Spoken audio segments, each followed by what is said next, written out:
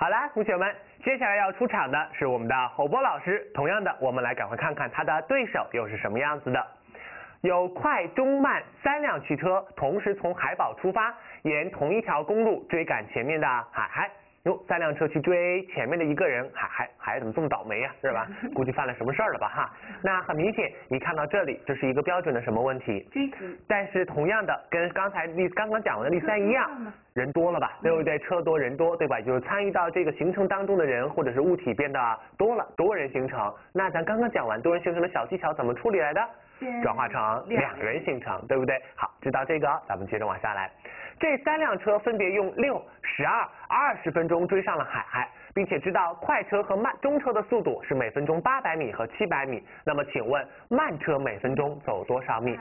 嗯。嗯，估计是六百。嗯啊，对，有同学会想了哈，那估计按这个来，八百、七百，是不是下一个应该是六百呢？哎，那咱们算一算才能知道到底是多少，对不对？好，那同样的，对于这道题目来讲，人多，对吧？车多，所以我们的过程会稍稍复杂一些。那我们是不是先通过画图来把这道题给解决一下，对不对？那么在这道题目当中，跟我们的例三一样，这个六分钟、十二分钟和二十分钟，是不是非常标准的三个什么时间？嗯，六分钟、十二分钟、二分钟追上海海，是不是追及时间吧？对不对？那么这三段过程就是我们解决这道题的突破口，咱们一一来看一下。好，首先我们先来看一下这道题目的一个基本的运动过程是什么样子的，那就是首先在同一条公路上，对吧？我们的海海在这儿，哎呦，海海长成这样吗？哎呀，太吓人了哈！然后我们有快、中、慢三辆车要从海宝出发去追前面的海海。啊，太诋毁形象了哈！嗯啊，投诉一下。那首先是不是我们的快车先花六分钟追上了？嗯。好，接下来我们的中车是不是花了十二分钟追上了我们的海海？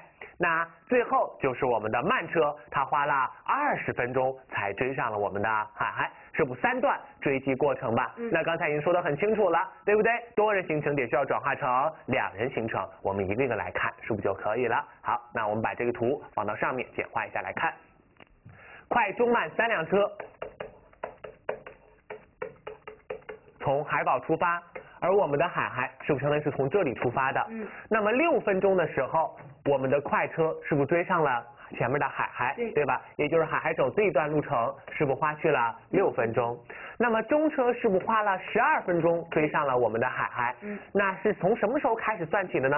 是开始，也就是开始海海在这儿，是不是中车在这儿？嗯然后十二分钟是不是追上了？嗯到这里，那就意味着这一小段我们的海海走完应该用去了几分钟？六分钟。很好，应该也是只用去了六分钟。好，最后慢车是不是花去了二十分钟嗯追上了我们的海海？也就是这一段是不是应该是八分钟对吧？一共加在一起是二十分钟嘛。好，现在我们又知道中车和快车的速度是多少，所以他们走完，他们追上海还走的那段路程是多少？我们是不是可以很轻易的算出来？那么快车的速度是每分钟八百米，那么一共走了六分钟，哎，所以这段路程是四千八百米。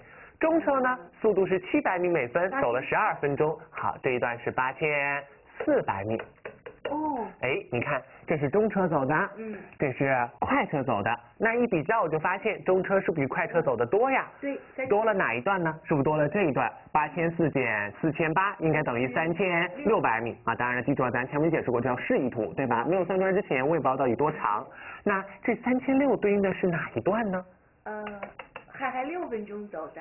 非常好，再往上一看，是不是就是海海六分钟走的路程吧？对对不对？那海海六分钟走了三千六百米，所以海海的速度就出来了，是多少？六百。哎，你发现海海的速度是六百米每分，那你觉得慢车的速度能是六百米每分吗？不是肯定不是，那就追不上了，对不对？好，那么这样的话，我就知道了海海的速度，这可是个大喜事儿啊！为什么呀？因为我们的快、中、慢三辆车跟海海做的是不是都是追击问题呀、对不对？那么追击问题研究的是不是路程差、追击时间还有速度差？追击时间全部都给你了，嗯路程速度差，快、中、慢的车是不是都知道？嗯啊，sorry，快、中的车的速度是不是都知道？海海的速度是不是也求出来了？是。不，速度差知道了，那么这个追击路程差是不是也就求出来了？好，那知道了追击路程差，又知道慢车花了多长时间追上了海海，那么慢车跟海海的速度差是不是就求出来了？对而海海的速度你又知道，所以慢车的速度是不是就求出来了？嗯好，那这道题基本上也就被我们解决了。听明白了吧？嗯好，来看一下解题过程。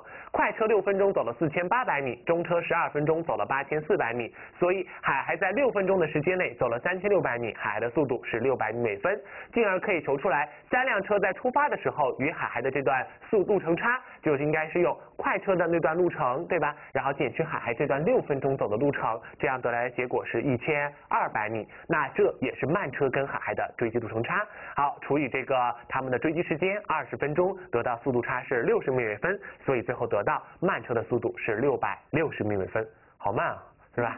就比海还快那么一点点，是吧？哈，真慢。好了，那这道题目是一个多人的追击问题，解决方式仍然是采取着多人行程转化成两人行程，那么这道题就迎刃而解了。